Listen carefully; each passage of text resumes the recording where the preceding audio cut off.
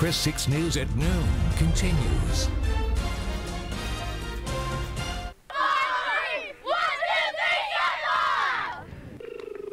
How about that? Spirit on display in Ingleside as the minor league softball team. The all-star team made their way back. The team won the Texas East Section 4 Regional Championship, and now they head to state to represent our area.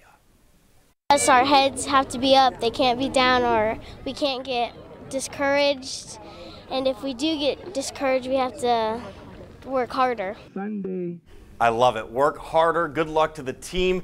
From all of us here at KRIS 6 News, we wish you luck. Juan, uh, take it away. What are people going to expect for the weather going into the weekend? They got high energy. I got, I got to say that's good to them, and good luck to those folks as well.